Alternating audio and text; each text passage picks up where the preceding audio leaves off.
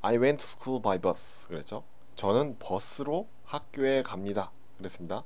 요거 보시면 여기 주어 있고 서술어 있고 쭉 지워지고 지워지죠. 일형식이에요. 일형식입니다. 주어하고 서술어밖에 없는 일형식이 되겠어요. 이런 일형식 문장들은 수동태로 바꿀 수가 없습니다. 수동태로 바꿀 수 있는 말은 그 말에 을, 을이 꼭 들어가야 돼요. 을, 을이 꼭 들어가야 돼요. 그러니까 예컨대 I love you 같은 경우에 나는 당신을 사랑합니다 이런 식으로 되죠. 을을이 꼭 들어가요. 저는 당신을 사랑합니다라는 표현을 나는 당신애 사랑합니다 이렇게 할 수도 없고 나는 당신으로 사랑합니다 이렇게 말할 수도 없죠. 을르를 갖다가 뺄래야 뺄 수가 없는 말이 꼭 있어야 그게 지금 목적어인데 목적어가 꼭 있어야지만 수동태로 바꿀 수 있다라는 거예요. 그게 지금 왜 이렇게 말씀드리냐면 자 보세요.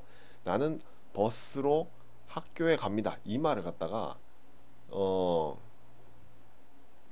나는 버스로 학교를 갑니다. 뭐 이렇게 말할 수도 있잖아요. 우리말로 조금 어색하긴 하지만 나는 버스로 학교를 갑니다. 이렇게 말할 수도 있어요. 그럼 여기도 을을이 있으니까 그럼 학교는 나에 의해서 가지는 게 아니냐 이런 식으로 착각을 할 수도 있는데 그거를 혼동하시면 안 된다라는 거예요. 우리말에서 어 을을밖에 안 되는 말 그런 게 목적어예요. 을을만 애 같은 말을 갖다가 아예 쓸래야 쓸 수가 없는 게 목적어고 이 지문에서는 그래서 목적어는 없는 거예요.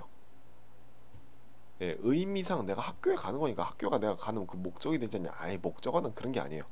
아시겠죠? 자, 요런 거에 대해서 아, 나 이거 죽어도 모르겠는데? 그러면은 일단 요거 수동태를 공부하기 전에 형식을 먼저 공부해야 돼요. 1, 2, 3, 4, 5 형식. 그렇죠? 혹시 1, 2, 3, 4, 5 형식 그런 거 알아봐야 뭐하냐? 라고 생각된다면 지금 여기서 필요한 거예요. 그러니까 앞으로 돌아가가지고 좀 공부를 하시기 바라고요.